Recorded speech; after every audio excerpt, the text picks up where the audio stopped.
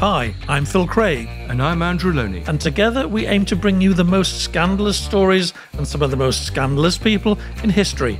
So thanks for joining us here on the Scandalmongers podcast. Well, we've managed to keep abreast of the news. We're doing a special supplement this week, an extra two episodes, possibly, dealing with the racism in the royal family, which I think you've correctly identified as a as a real problem for them. Uh, I feel like um, you know Al, Al Pacino in the Godfather films. I'm trying to get out. They keep pulling me back in. These royals. we keep wanting to do stories. Yeah, well, I mean, I think we've got two uh, interesting perspectives. We've got uh, Lady Colin Campbell, who's known for her very critical views of Meghan, and then we've got Clive Irving from the Daily Beast, ex Sunday Times, who is going to give us an American perspective, which I suspect will be slightly different. Yes, well, Clive is is is quite a lot uh, warmer towards Harry and Meghan, and also he's been quite a big critic of the royal family in, in its behaviour towards, well, the legacy of slavery, for example, and other things. Yeah. So yeah. A, he, you might say, put it crudely, he's a, a kind of voice from the left, the liberal left. Uh, whereas yeah. I think Lady Colin Campbell is going to probably give Meghan and Harry both barrels.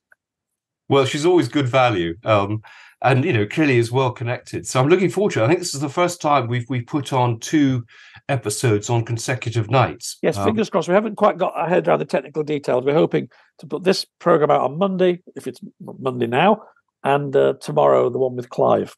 Um, but I do think it's a big story, and and I think it's a, it's a crisis for the royal family. Actually, I think these allegations are very pernicious and for a long time, the Queen and the royals were seen to be above politics, but can they be above identity politics? Yes, which is well, a very powerful force in our world. Yeah, no, I agree. Uh, you know, A.N. Wilson uh, in the today's Mail, uh, on the Saturday's Mail rather, talks about um, this being a critical point for them. They need to address it. I mean, I think the irony is that the, the king has has done more than most public figures to try and bridge the gap between different communities. Well, he probably hasn't. Uh, people often talk about the Prince's Trust being quite revolutionary in its time, the work he did in disadvantaged communities. But um, yeah, this uh, it's already been picked up on social media, as everything is, of course. Um, and Kate, you know, Kate's the great hope, isn't she? She's the future queen, and to have a, a big question mark over her in this way, that she's perhaps carries around sort of ancient prejudices, it's not good at all, whether it's true or not. Well, I'm I'm just in, in, intrigued as a publisher on the whole leak of this of this uh, book in Holland. Holland, of course, as you know, is the smallest market in publishing. So if you're going to pulp any books, that's the best place to pulp them. So it makes me think rather cynically that this has been a, a deliberate exercise. But we've both written books that have been translated. You rather more than me, but we've both done it. And yeah. you know, you have to send the text ahead of time. So you know, it takes a long time to translate a book. So I think it's quite possible they sent an early draft and then later on they had second thoughts about naming Charles and Kate. But for some reason that was never communicated to Holland. Yes, well, I mean, possibly. I mean, it'd be interesting to see the legal action. Who takes the rap? Is it the Dutch publisher or is it the uh, the original publisher? Uh, so this story still has some way to run, but it'll be interesting to see how the royal family react. The stories that they may actually even take legal action. Yeah, um, it's a funny thing that the, the, there's something kind of I haven't read the book yet, Scobie's book, but there's been such a lot of coverage. It seems to be very much targeted at Kate. Yeah, you know, belittling her, mocking her. Um, you know, you have to think this is the view, whether Meghan or Harry briefed him or not. This is the view from Montecito. This is what they think of her, and you think, God, the the, the poison in that relationship must be very, very, very deep now. Yeah, well, she is the obvious, in some ways, rival to, to Meghan. So, I mean, if you're going to take anyone down, that's the one to take down. I mean, the irony is, in some ways, she is the person who has most transformed the fortunes of the royal family over the last few years. Um, so it's. Uh, I, I just think about the timeline of all this. I mean, if you remember the details, Meghan has never said that she heard any conversation about the color of her child she said that Harry heard a conversation before they were married on this subject. Yeah. yeah. And it's clear now that, you know, whether Charles was involved, Kate was apparently involved. And I can imagine in my head, do you remember they were great friends? That was the story. Harry was always saying Kate's like the sister I never had. And they would hang out and they would have a few drinks in the evening. And, you know, can you imagine he's got a new girlfriend? and he's excited about it. And they say, "Oh God, Harry, she's gorgeous." You know, maybe one day you'll have kids, and oh God, I hope they look more handsome than you, you ginger. Mean, you can imagine yeah, exactly. Don't have on the back and frizzy ginger hair. They all have. Yeah, no, I agree. Maybe Kate says something like, "I don't know. Yeah, wouldn't it be wonderful to have some a bit of you know something more colourful in the family than all these boring white people?" Let's maybe that she said that maybe. Yeah. And they all yeah. had a good laugh about it. Fast forward, two, two or three years later, everybody's fallen out over us, whatever big or small things. They're all very, very kind of angry about each other. And Harry says to Meghan, Do you know what? They once even speculated about the baby. You know, they did. And then Meghan says, What? They were concerned about it. And Harry says, Oh, oh yeah, yeah, something like that. And then that word, the C word, is the killer word that she uses at Oprah. Because yeah. it's, it's one thing to speculate, but it's another thing to be concerned. Yeah. Well, it's it's it's like a divorce, I suppose. You know, things are weaponized that have come from the past. But I mean, the papers today are saying um, that there needs to be some sort of reconciliation for the long-term future of the monarchy. But I, I can't see in these circumstances how anyone can come together. Um, well, you're, actually, you're very right to mention divorce because we've talked about this before with Diana you know, details of her marriage with Charles, and incidents like the famous staircase that we spoke about nearly a year ago when we did the Diana episode. You know, a, a little stumble on a staircase years later becomes a fully fledged suicide attempt, where she's rolling on the floor in front of the Queen. And, you know, yeah. things get exaggerated well, and twisted. I mean, you know, we've been talking a lot about what's happened in the past, but actually, of course, it has a great deal of relevance to what's happening now. The the, the problems of the past and the, in their childhood are, are coming back to, to, to, to, to sow discord, really. Um, William's sort of got over it. There's a national, an international element to this. It's not just falling out between, you know, rather ridiculous figures in the royal family. It's this is about Britain's image, about trade deals, about diplomacy. Um, I, I, imagine the cabinet will have talked about it already because it's uh, it, it, needs sorting. Yes, well, also we're on the verge of a Labour government, and it'll be interesting to see if if there will be an, an, an, a financial crisis. Will will people be looking at the monarchy in, in fresh with fresh eyes uh, and the cost of the monarchy, cost of security, uh, and the number of houses and the role they play? Uh, so I think there's some big questions. all that. I mean, and hopefully, maybe Clive will be looking at that when we. Yes, we must ask Clive about that because uh, that's very much his thing. He's very well plugged in, I think, with people who probably end up being in the government in a year's time. Yeah. No, so much to talk about, and I think this is a genuinely big story. Yeah, great. And how are things looking with with looking back for previous podcasts? Are we getting good reviews? Are we? We had getting... a very nice new review actually. Um, I, I, I managed to lose on Apple, but we also had some good ones on YouTube, which are sitting here somewhere. Um, yes, people really enjoyed um, Gerard last week. Gerald talking about um, Kennedy hasn't got the biggest figures we've ever had, but some you know people really liked it. Excellent interview. Kaza Swan, Peter Chris, outstanding interview. He says. Mary Alford says, "I definitely think there's something more to this." Fair enough.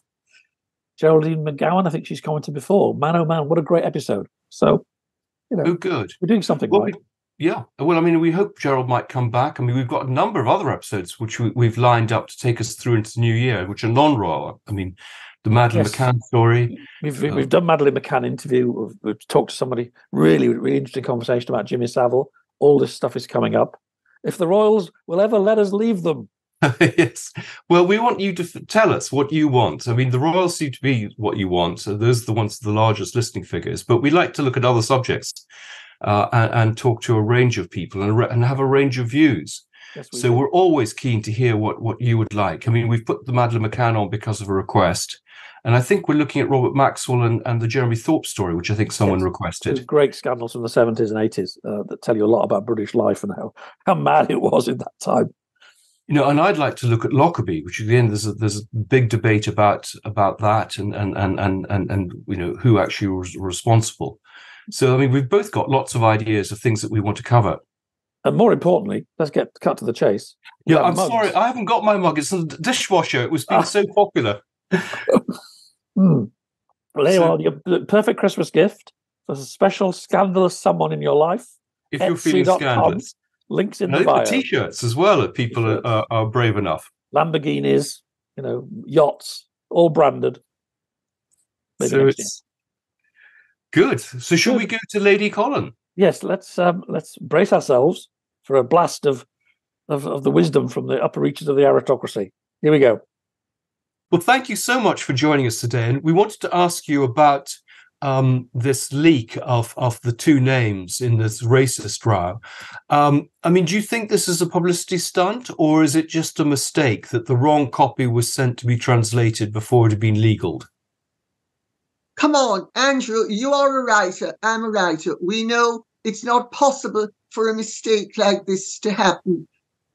It's if it's a mistake, it wouldn't have happened. The whole thing has been deliberately done so that Meghan and Omid Scabies will get out there the names that she has had as a bugbear for some time. Charles is incidental in all of this. Her real target is Catherine. And did but, you know about the names beforehand? Yes, I also know that Pr- Princess Anne was also a name that was being bandied about. Right. Gosh, that's a story that hasn't come out. You know, remember, it was supposed to be, according to Harry, one allusion to the color of the skin of the baby before the marriage, which incidentally is perfectly natural.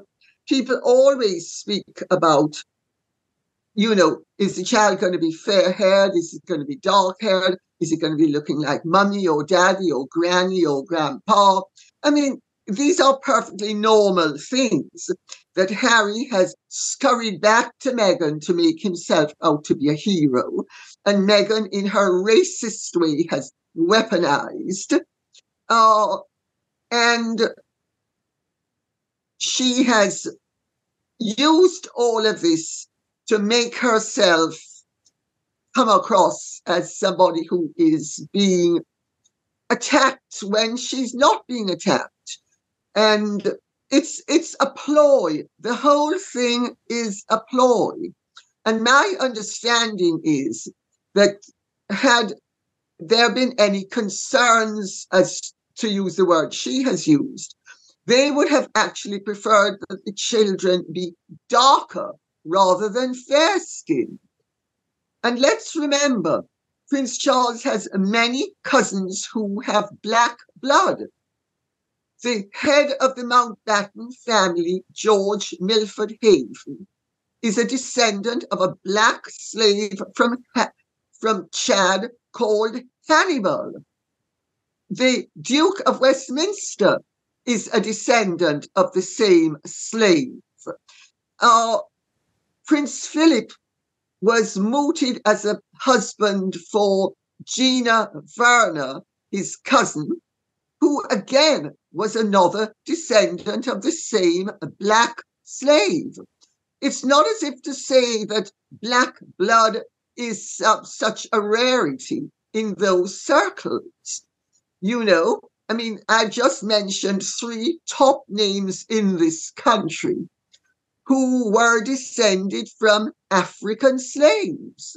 Well, because I thought they were all meant to be trying to be friends again. This seems to have just made things a lot worse. Or, or was this never really the case that Meghan didn't want to put out a peace offering?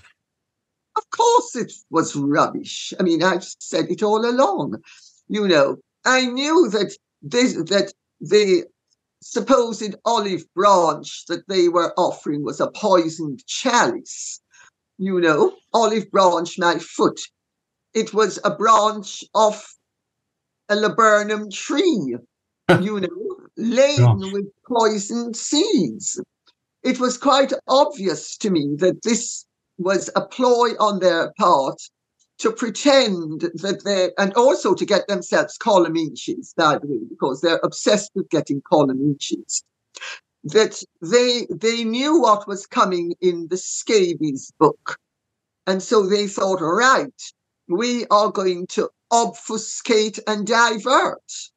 But i think their tactics are now so transparent that i think people are on to what's going on. I don't think people are deceived anymore. Well, just, just to interrupt a second i mean i think like you i I can imagine a friendly conversation before the marriage that's been reinterpreted and exaggerated and weaponized, as you say. I totally can understand that. But I also think if you read what people around the world are saying, and also some black British commentators as well, it, it, it is a problem for the royal family that they have to handle going forward, that this has been raised. Um, and they have enough tr- issues, don't they, in the Commonwealth? There's a lot of the tours recently have run into trouble on the issues of race relations and the history of slavery. Um, how do you think they should handle I that? Agree with you. I agree with you that this is very mischievous on the part of Harry and Meghan. You know, they and they are fully aware of the fact that the last time they raised this subject, that it had a disastrous effect upon the tour of that William and Catherine undertook in, say, Belize and Jamaica. Now, I'm Jamaican. I know very intimately what happened in Jamaica. And the whole thing was totally uncalled for.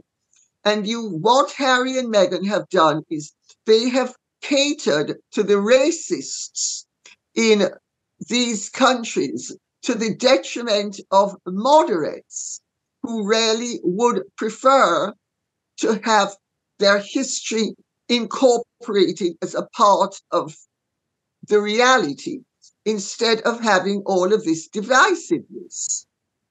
So it's both damaging, yet in some ways it's going to, uh, it's damaging for everyone really, because Scobie doesn't come out of this well, nor does do do the Sussexes. Well, I mean, Scabies comes out of it as the total rat that he is, in my opinion, because you know, uh, Saskia Peters, the translator, has made it absolutely clear, as you and I, Andrew, would know, we have books that are translated all the time into foreign languages. And there's absolutely no doubt that the author has to sign off on everything. And until the author signs off on everything, the book is not handed over for translation. So Omid Scabie's story simply just doesn't make sense at all to anybody who knows the process of publishing. I think he's simply come up with a stupid lie, but he and Meghan and Harry come up with one stupid lie after the other in the hope that dupes will believe them. And maybe dupes do. But anybody who thinks and understands the reality knows that these are deeply destructive, malicious, nasty people. I mean, when you stop to think of it, they have endangered the livelihood of a very well respected translator. And they have also caused the publisher to pump, pulp, to pump, uh, pulp, sorry, pulp, 5,000 copies of a book that he will have paid to publish. I mean, the whole thing stinks to high heaven. Well, I mean, surely he'll only pay if he's made a mistake. If if you know, the only version he had had the names, he's not at fault. But I think what Phil and I suspect is that they're just translating from a pre-legal copy. Uh, and it was a cock up. They just didn't get the right copy. Well, if they didn't get the right copy, you and I will both know the reason why they didn't get the right copy was that the author and the publisher of Origin chose to send them the wrong copy. That's not a mistake that you can make unless you do it deliberately. And what's the purpose of this? I mean, is it just to get column inches, as you say, to get back at Catherine, or do they have a bigger agenda about the monarchy? I think it's to get themselves publicity. I think it's for Omid Scabies to get himself publicity to sell the book. I think it's Meghan to get the names out so that when she comes up with her own version of her truth, which is a three letter word beginning with L and ending in E, the middle letter being I, that she, you see, for she and Harry had both said they would never reveal the names. Well, they said they'd never reveal the name. They never said it was two people. They said it was one person. It's now become convenient for them to have fabricated not one, but two people. And possibly and, three. and there is a third in the offing being Princess Anne. So all of a sudden, it's gone from one to three, and it's gone. The conversation has gone from before they were married to when she was pregnant with Archie, having an artificial situation. And, you know, think about it. None of it makes sense except for people who are just grabbing at straws and throwing them into the poultice in the hope that it will make a break. And when you say artificial situation, what, what do you mean by that? I think the whole thing is an artificial construct.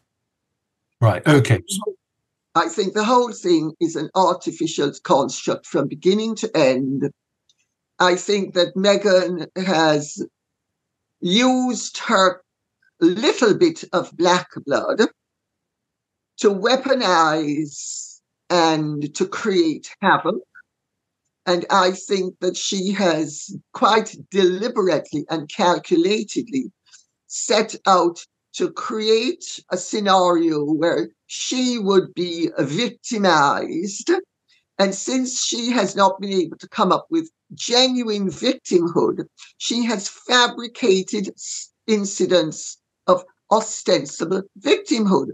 She has, for according to her version of things, her latest version of things, there were concerns over how dark Archie's skin color would be. Well, since nobody was going to say to her or oh, Harry, we're really concerned about how dark the baby's skin is going to be, there might have been conversations. We wonder if the baby's going to look like Doria or Meghan or Harry or Diana or which these are perfectly normal conversations that people have, whether they are in a uniracial relationship with a uniracial baby or a biracial or a triracial situation. So what what do the royal family do? How do they respond to this?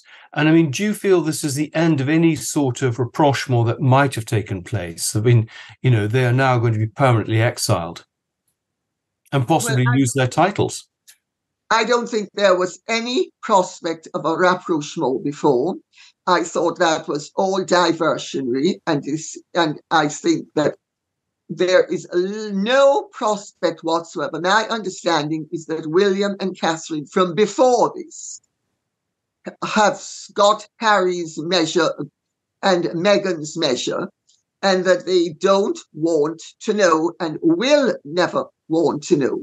His father, being a parent, it's a slightly different situation. And his father has hoped that he could somehow establish some sort of, if not working relationship, certainly a relationship free of hostility. But I understand that it's obvious. You only need to put yourself into the king's shoes to know that if you were in that situation, you would know the whole exercise is pointless. But other people have been telling him for some time it is pointless. As long as Harry is with Meghan and as long as Harry is self medicating by his own account, there is no possibility of rationality and good reason prevailing. I mean, the so way this the way this could end is for Harry to put out a statement because all of these things were only ever said to Harry. Nobody's ever alleged that anything was ever said to Meghan. So Harry needs to put out a statement, or he could, saying misunderstanding, things have got out of hand. Nobody ever said anything hurtful. Take the temperature down. Let's be friends. I mean, that sounds like Pollyanna land, but that would at least that would end it, wouldn't it? Well, yes, it would, except of course he tried a version of that with Tom Bradby, didn't he? He said that, uh, you know, that Meghan had never said made racist allegations against the royal family. And remember, he gave this interview a few weeks after they had accepted an award from Kerry Kennedy for fighting institutional racism within the royal family. So, I mean, clearly somebody doesn't have a very good memory, and it's certainly not you or me, it's Harry. Because if you accept a reward for fighting racism within the royal family, you don't a few weeks later spin around and say, no, the press are the ones who made this up. Well, Meghan is very clearly in the Oprah interview stating there were concerns and conversations about how dark Archie's skin was going to be, notwithstanding the fact that Harry, in the same interview, placed that conversation with him and not with Meghan before the marriage. Mm. Is she now trying to say that she was pregnant with Archie before the marriage? I mean, the whole thing is artificial to the nth degree. Is Harry still under her thumb? Uh, or, or, I mean, there have been stories that the two of them have, have been living separately, for example. Yes, well, the marriage was under some strain, but you know, I know from my own parents' marriage, which, you know, my mother was a narcissist, and I wrote a book on it called Daughter of Narcissus, that when you're dealing with a narcissistic relationship, the other partner is reeled out and reeled back in as and when it is convenient. So, you know, the fa- and and re- relationships like that are extremely turbulent, but they can last a lifetime. My parents' marriage lasted for the duration of my father's life. So I've never held out any hope that the relationship is necessarily going to end. But it certainly is turbulent and it will remain turbulent. And Meghan is the driving force in that relationship. Maybe one of these days, Harry will have enough gumption and enough backbone to leave. But maybe he'll be like my father, say it's for the children and then long after the children have departed, he doesn't leave, you know, because men like that usually adore their mothers and they usually marry women who they, on some level, they have locked into the fact that they've got another mummy. Right. Well, Duke of Windsor um, well, again, yeah, very Oedipal. The whole thing is very Oedipal. It's but this isn't going to play well for the for the for Sussexes. I mean, they're they're running out of road, aren't they, in terms of making money and selling stories? I couldn't agree more. I think they have run out of road. I think you're seeing the death knell. I think the death knell might be very protracted, but I think that what you're seeing is the death knell. I think this can go on for years. God forbid. And I mean, if the royal family, I mean, what what do you advise them to do? I mean, should they be, um, you know, sending their children to comprehensives in the middle of London? Should they be having all their staff recruited from the Caribbean? I mean, how can they respond to this? Well, first of all, let's remember the African and and Caribbean percentage of the population in this country is tiny. It's, I think, I don't remember exactly how much it is. I think it's about three or four percent. Then you have the subcontinental, which is another. So, say the whole thing goes up to 11 or 12 percent. Everybody else is either Caucasian or non subcontinental and non black or non African heritage, let's put it that way. So if you're going just off the figures, you it's still a minority. Why should the minority dominate? I mean, just think of the uh-huh. math. Well, I think one, maybe one reason it's Andrew's raising it is there's a Commonwealth, there's a, and there's international relationships. I think this is probably already being discussed in government because the royals represent the country. They're really important in diplomacy. They're really important in trade. You know, and if if whenever they're traveling now, there are people shouting out, "Are you a racist? Do you not like black people?" It's a significant problem, I would say. Oh, I think I think they need to they need to be aware of that. And I think they need to have more visibly black people around. But to say that the whole thing should be weighted in in favor of blacks is in itself racist. And, and also, I think they need to have people of quality. Now, for instance, they could have somebody like Trevor Phillips, who is, you know, a very sound and solid person. And if they had somebody like Trevor Phillips advising them, but there are other people that they have who do advise them. You know, one of the lieutenants of London is black. Uh, no, no, I, I, do, I do know that. I, I, it's interesting that the Queen, of course, was famously enthusiastic for the Commonwealth, and nobody ever said a word against her in terms of prejudice. And of course, Kate is going to be Queen, and the contrast there. If I, if I was Kate or Kate's private secretary right now, I'd be thinking, how do I remove this problem, this sort of sword of Damocles that's now going to be hanging over me? Well, I don't think it needs to actually end up being a sword of Damocles. This is an accusation that has been uh, furthered by Meghan Markle, who is a notorious liar and extremely envious of Catherine. So I think we need to consider this source. And I think with the passage of time, more and more people will see that there is a malignant element to this that is entirely due to Meghan Markle. But Meghan Markle is the one who has created this situation. And Meghan Markle is the one who will ultimately suffer as a result of it, because she might be able to inflict suffering at the moment, like most sadists. But ultimately, they, if they are not clever, and most of them aren't, they get caught up in their own vice. Let's remember, even the Marquis de Sade spent most of his life in a prison you know. and Meghan is due for, Meghan is going to be exposed for the malignant, really rather vicious race baiting.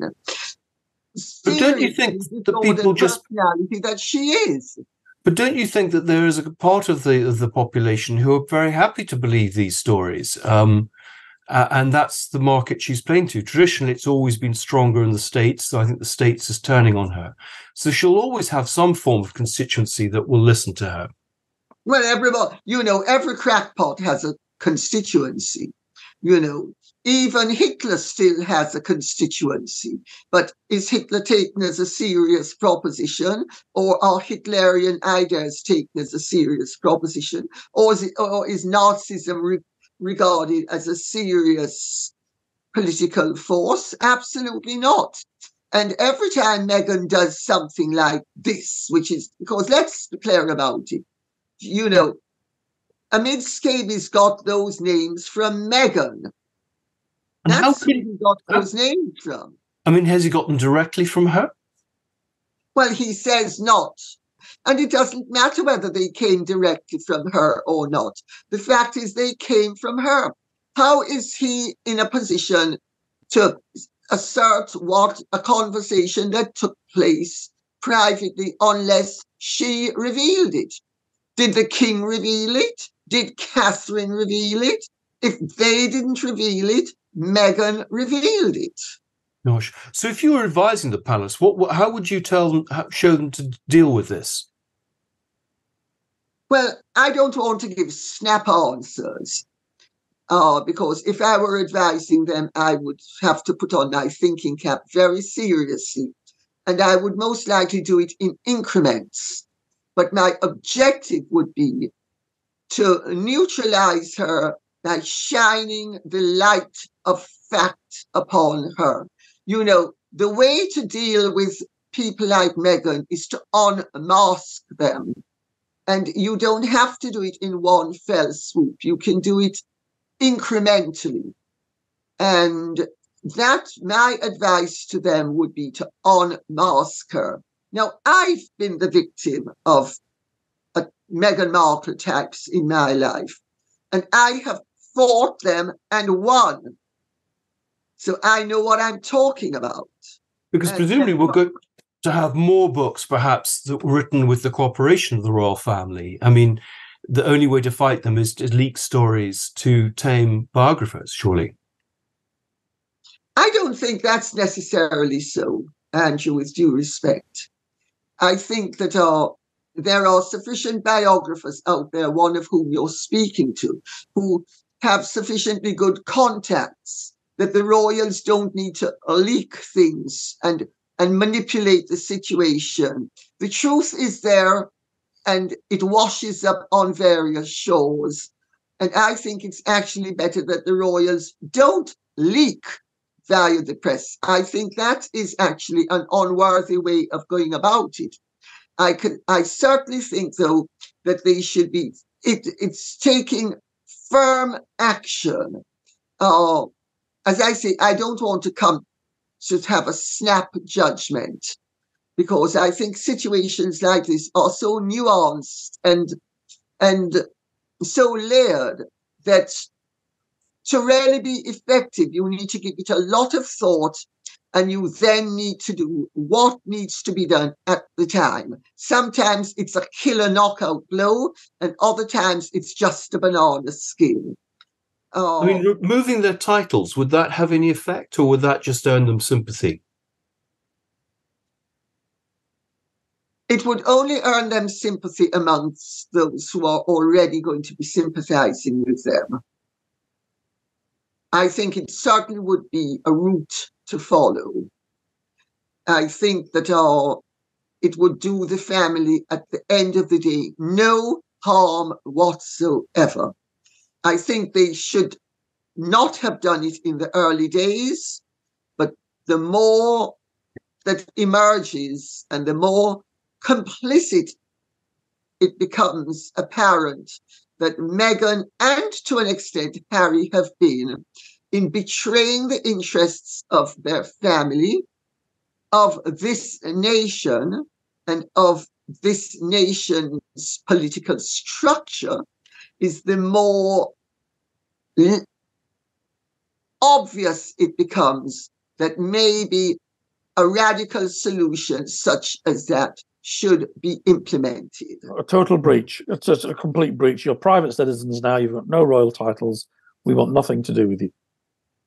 Because well, in effect, in effect, you know, uh, in effect, we, I think, I think that they they could they could make it clear, uh, or and do it in such a way that you you have you are private citizens and they don't have to say that it's in response. I don't know. I don't want to actually answer the question because, as I say, in situations like this, one has to be so nuanced. I mean, I've learned in life, in really important situations like this, the devil is in the detail, and you need to, to come up with a solution where you are absolutely in the right and the other person is absolutely in the wrong. You draw the line and you hold to it firmly. Because, I mean, the Sussexes must be vulnerable financially. I mean, the costs of security, their lifestyle, and presumably they're appearing quite toxic to, to commercial organizations now. Yes, well, I've been saying that for some time. you know, I mean, anybody who has anything to do with the business world or with the financial world will know that nobody wants to attach themselves to losers and certainly not to toxic losers. And what Harry and Meghan had to sell was their eminence, their royalty, their glamour, the gold dust that goes along with being royal. And they have they have stripped away all of that. And so they have only themselves to blame. And you know, earlier on you mentioned about the money. All all these phantasmagorical figures that they have been banding around are rubbish.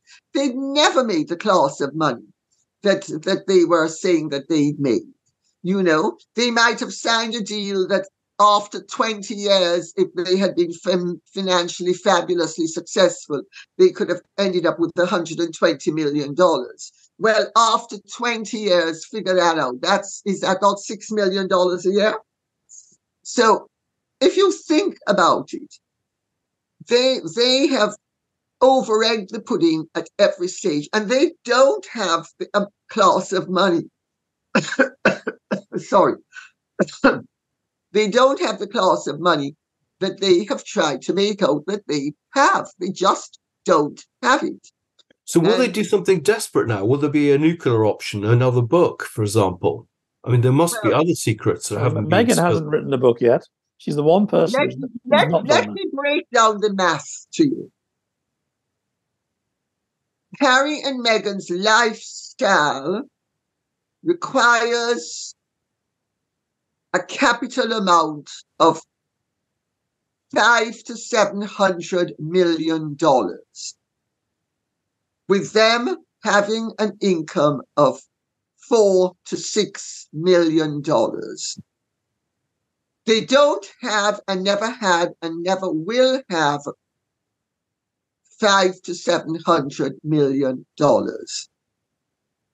They might have had an income of four to six million dollars. But that is an income with no backing from capital.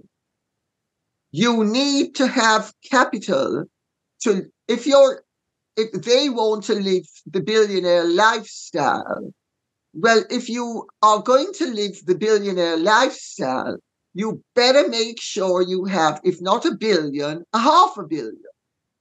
The way they live, even 200 million would be challenging for them.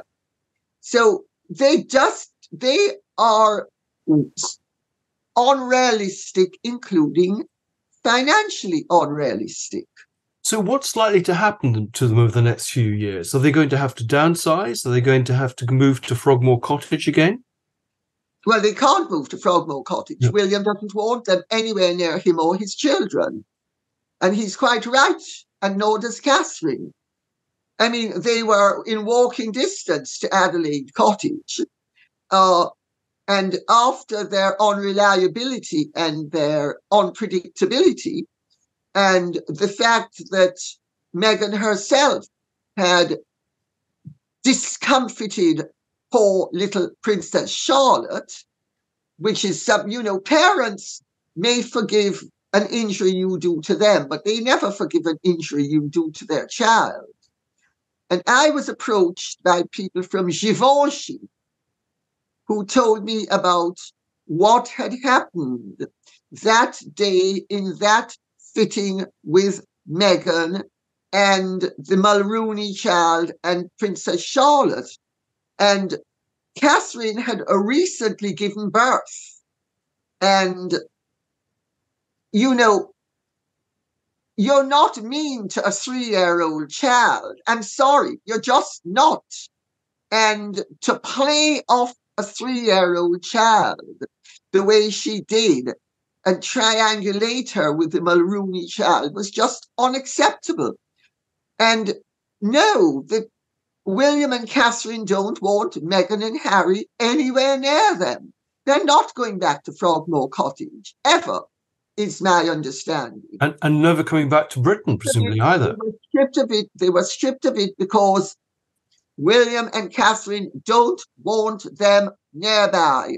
They are worried about the effect they would have on their family and their lives and their and the proximity would be too unnerving and discomforting. It is so sad, though, isn't it? I mean, we're just watching The Crown. I'm sure you've, well, maybe you're not watching it this time, but the scenes with the boys and the Diana's death and how they look to each other for comfort. And now here we are, all these years later, when you know one's banished the other and one's leaking stories about the other and exaggerating, no doubt, things that were said when they were friends. It is a very sad ending to that brotherhood. So the whole thing is tragic because you know Harry's ambition was always to meet a girl like Catherine, who he loved and who loved him. And, you know, she was a sister he'd never had, and they got along very well. And his vision, and he hints at this in the spare, by the way, was that they would be a very happy foursome. Well, what does he do? He tries with Chelsea Davy, he tries with Cressida Bonas, neither of whom wanted to run the course with him because he is such a trip and a half. And then he picks up this piece of garbage, quite frankly, who, uh, but as soon as William and Catherine saw her, they knew what they were dealing with. They, she, she was so transparently obvious that they knew from the word go what they were dealing with, and they turned out to be absolutely right. And was nothing done to try and dissuade him from from marrying her? Yes. I know William was was criticised for for us telling him to sort of take his time. Yes. Yeah. Well, it's in my book, Andrew. You represented me on. yeah, no, no. I want more people to know what's well, he, in ne- he never reads his clients' books, obviously. no, they're very good. And when you kind of watered down the book because at one point, I mean, because people felt yeah. that I was I was informed that I had to I had to modify, but but in the book I make it absolutely clear that Harry was warned against marrying Meghan, and that the Queen and Prince Philip tried to talk him out of it. And that when Prince Philip tried to talk him out of it, he, he erupted, and the Queen intervened, and the Queen tried to pour oil on troubled water along the lines of, oh, you know, your grandfather. And he, he told them that, and I need to use this version for legal reasons.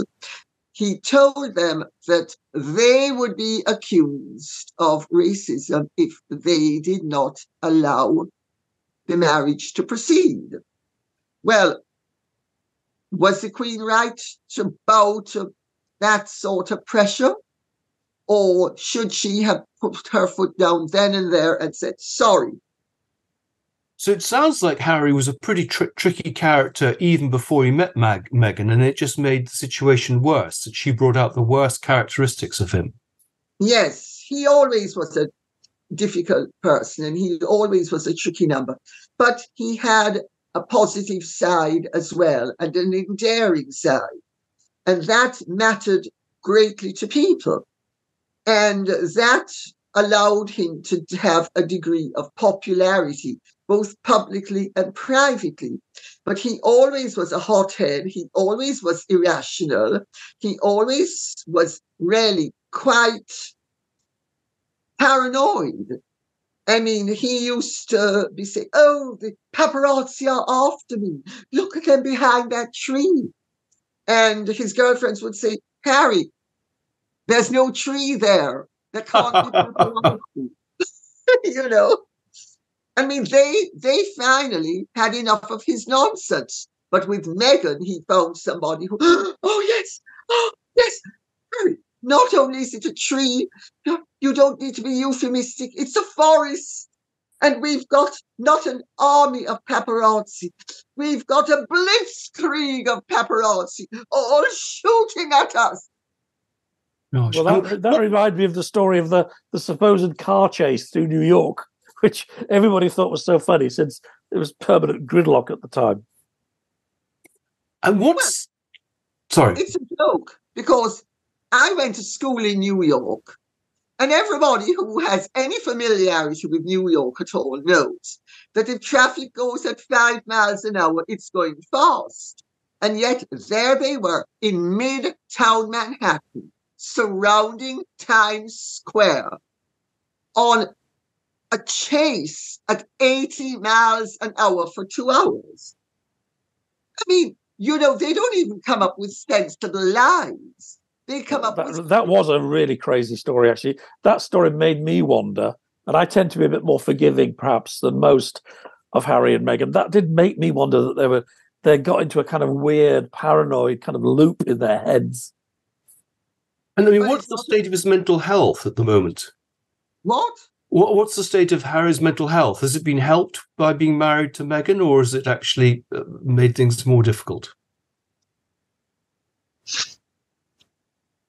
Sorry, I need to ask the dogs to go and get me co- some coke. I feel a head cold coming on. Right.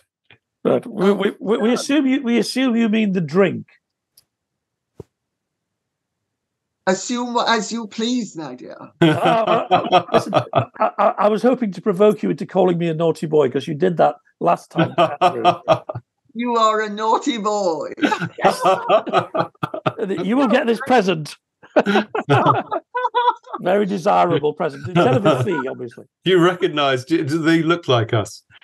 I mean, this is fascinating. I mean, uh, but I think public reaction has gone in favor of the, the royal family. I mean, this in some ways, it's gone so far that, that this must help them. Well, absolutely. But you know, this has been coming for a while because Harry and Meghan have been so transparently dishonest and so transparently curating works of art that are actually fecal matter that and people have seen through them and the more that they go on and on with all of this nonsense is the more people see them for what they are and they have actually shone a light upon the sterling work and the virtues of the proper royal family. In a funny sort of way, the longer this has gone on, is the more they have been damaging themselves. They, every time something like this happens, they lose supporters. And what they what they gain is detractors. And do they have staff who advise them, or do they just work their way through them if people don't don't tell them what they want to hear? My understanding is that Meghan knows best at all times and she ignores advice. And Harry, if you don't agree with him, you are not being loyal. So when people don't agree with them, they it, it's the beginning of the end. And also, I understand that from my friends in California, let's put it that way, that both Sunshine Sachs and William Morris in Endeavor have had to rip their hair out because it's not possible to get them to stick to a game plan. And you will know, you're in the business, that overexposure is fatal. And that if you have a working plan, you stick to it. You don't decide that you're going to interject all sorts of other narratives. But Meghan is a publicity hound and she has to be covered every day. So no matter what scenario their advisors will come up with, even when they agree with it, they then subvert it and pervert it with their interruptions and their interjections, their wild card antics. You know, I mean, nobody advised them to fabricate a car chase of 80 miles an hour in the middle of Manhattan and to make an announcement of such stupidity. You know, they were good, they hijacked not only Gloria Steinem's award, but they actually hijacked the positive publicity Gloria Steinem's Ms. Award and that they would have benefited from it.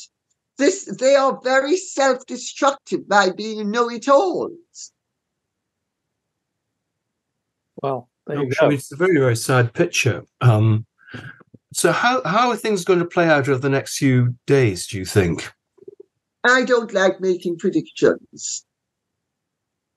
But Mm. I will say I am quite entertained by how Meghan and Harry must be squirming behind the scenes And I'm quite entertained by how Omid Scabies is squirming in front of the scenes. And you see, for example, black community leaders coming forward and saying, you know, we've worked very happily with the king, um, Prince's Trust, and all these things. And, and and so the support comes from actually outside the family. Examples of, of the way that he's worked for for unity across the different um, communities. But they've done it before, and they don't need to do it again because they've done it before. And I mean, Trevor Phillips has made the point. Other black leaders have made the point. Uh, you know, the president of Nigeria received the king with equanimity. I mean, it's quite clear that the black community does not believe a word of this. And I think it would be a grave mistake for the royal family every time Harry and Meghan come out with an accusation, whether it is directly or indirectly, that they rebut it. You know, it gives an importance to their accusations that ignoring them actually will actually put it in its proper context. It's more effective because I mean, Phil, you feel that you know there's a lot of stuff on social media that this stuff is get, gets currency.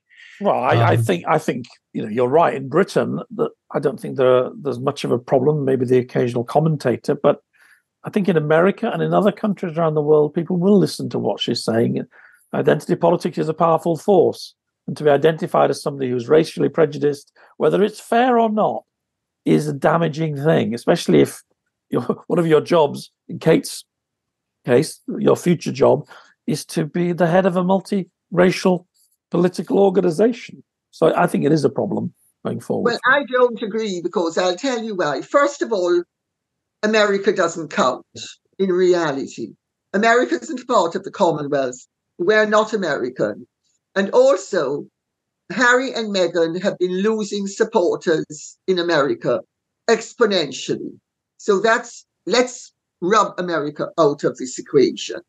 Insofar as the Commonwealth is concerned, the damage was done initially, and certainly it was played out when the Waleses were visiting, say, Jamaica and Belize. But more and more people of color all over the Commonwealth have had the scales fall from their eyes and will continue to. Remember, the average African or Black West Indian reveres and respects family.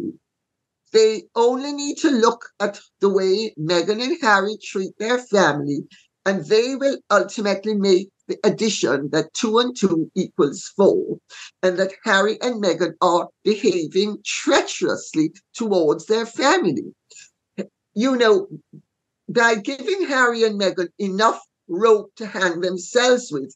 They've done a pretty good job of it because they have exposed themselves as disloyal, dishonorable, and distasteful. And they are self promoting, self aggrandizing, really jerks. Well, you've, been, you've, been, extremely forthright and, and, and very eloquent on that. On that, and I'm sure anybody listening and watching will know exactly where you stand. And uh, and thank you for that. I mean, it's a it's an incredibly. I think it's a big moment actually in the in the story, but we'll have to see. Maybe you'll come back with a get a second mug from us soon. Well, that would be very nice. Thanks for having me. Well, thank you so much. No, thank you so much in. for very short really notice. Appreciate it. Really appreciate it. We'll talk to you soon, and then you have and and, and we'll celebrate with our mugs. God bless. Get I your want, coat. I want a mug. You, are getting one. go, go, go and have your coke. God bless. Thank you. Bye. Thank you for listening to the Scandalmongers podcast. This has been a Podcast World production. You can get in contact with our show by emailing team at podcastworld.org, placing Scandalmongers in the heading, or via our social media links within the show's bio.